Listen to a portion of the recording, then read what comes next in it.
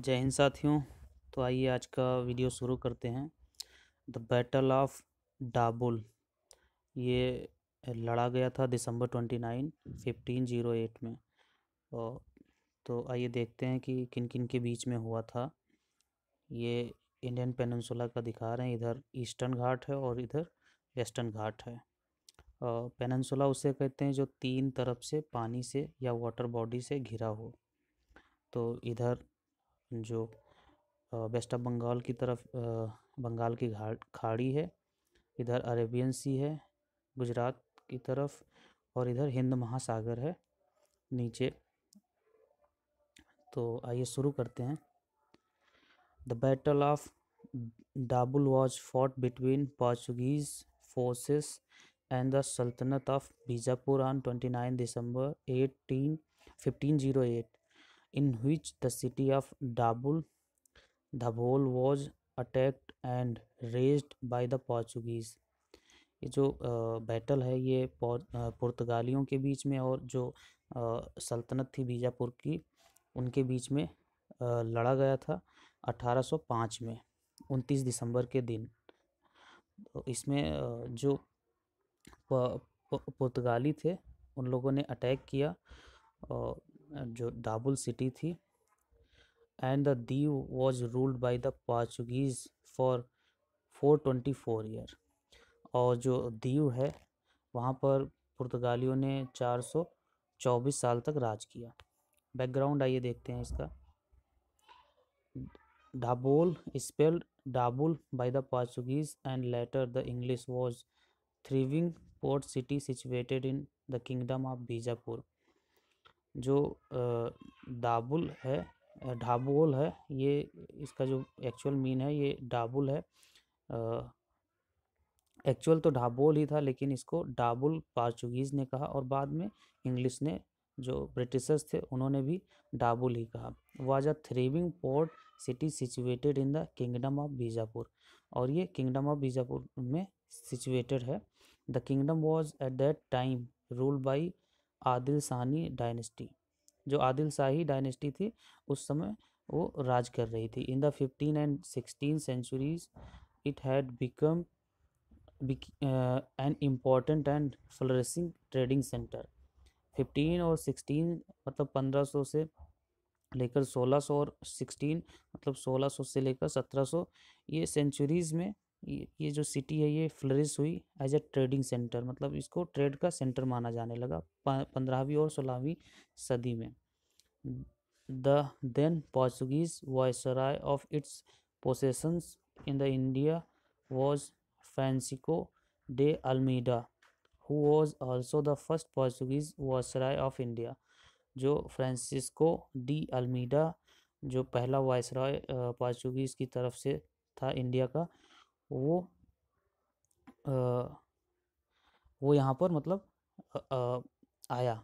His son Lourenco had earlier been killed in an attack on a squadron led by him at Chaul by a Gujarat Mamluk fleet क्या होता है कि यहाँ पे इन इनसे पहले जो पहले फ्रांसिस्को डी अल्मीडा जो पुर्तगाली वायसराय थे इंडिया के पहले इनके पहले ये इनका लड़का आता है जिसका नाम रहता है लोरेंजो। वो भी मारा जाता है squadron led by him Chaul by या गुजरात ममलक फ़ील्ड जो एक गुजरात का एक ममलक फ्लीट होता है वहाँ पे वो, वो मारा जाता है। Lourenco's squadron squadron was en route to the more famous battle of Diu और जो लोरेंजोस की स्क्वाडन थी वो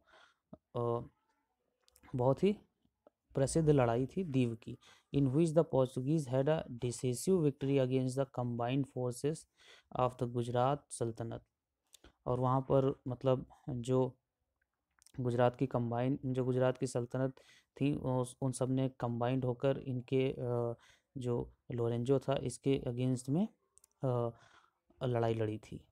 The Mamluk sultanate of Egypt the Calicut Zamorin and republic of Venice देख सकते हैं इसमें।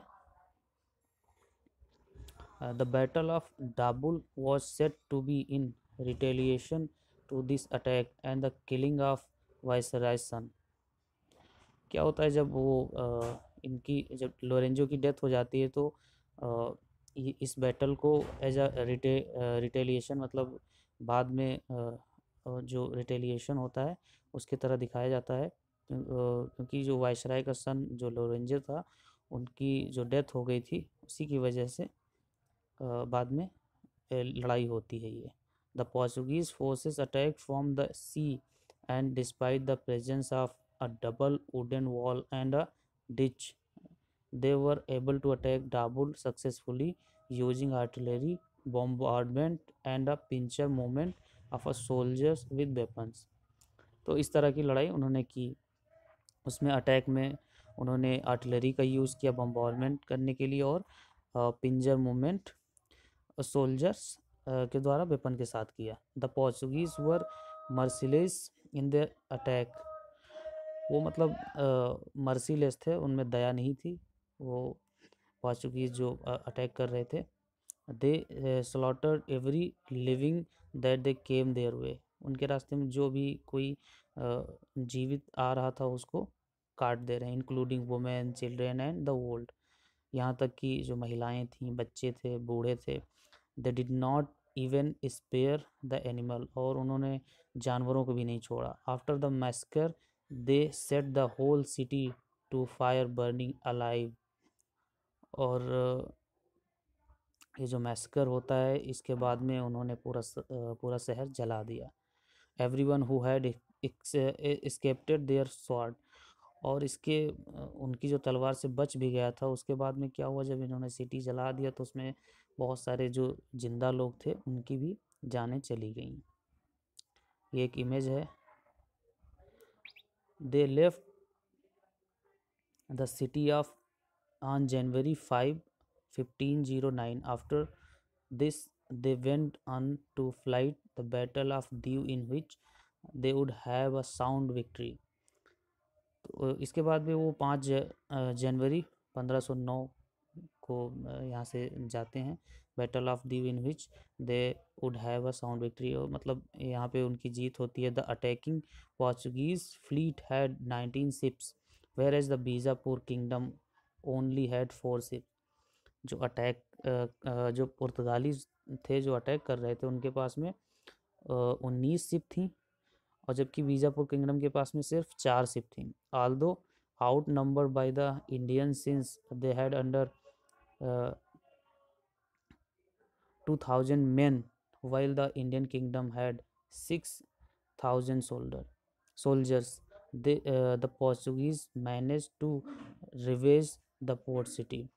और क्या होता है कि उनके, उन लोगों के पास में उन्नीस सिप रहती है, जबकि जो किंगडम ऑफ़ बीजापुर है उनके पास में सिर्फ़ चार ही रहती है, लेकिन सोल्जर में जो पुर्तगाली रहती हैं, वो दो हज़ार रहते हैं, और जो ये किंग बीजापुर किंगडम रहता है, इसके पास में छः हज़ार रहते हैं और इसके बावजूद पुर्तगाली मतलब जो सिटी है उस पर कब्जा कर लेते हैं। Even though the port was not capture in this battle लेकिन इसमें क्या होता है कि जो किला होता है उसको ये लोग कैप्चर नहीं कर पाते हैं। The conqueror attack the city many time in the following decade और इस दशक में इस दशक में ये लोग बहुत बार अ, मतलब सिटी को अटैक करते हैं और अ, मतलब उसमें से लूटते हैं। Attack the city many time in the following decade और पूरे मतलब दशक तक। डिकेट में एक डिकेट होता है दस साल का। The last recorded attack on Dabul by the Portuguese was in fifteen seventy one and this time Dabul was only a shadow of its former self with hardly anything left to attack the last recorded attack on on Dabul by the Portuguese was 1571 में last attack होता है और इसके बाद में कोई attack नहीं होता है। तो इस तरह से ये जो बैटल ऑफ़ डाबुल था ये, यहीं पे एंड होता है। ये देखते हैं हम लोगों ने क्या क्या देखा।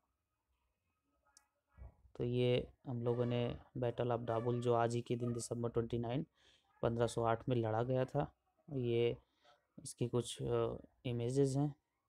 ये बैटल का टाइम और उसका जो ईयर था, बैकग्राउंड, इसमें ये ये देखिए इसमें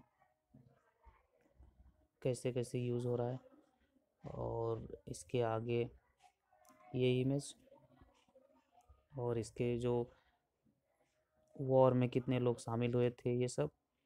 तो इसी के साथ ये, आज का ये अंक समाप्त होता है।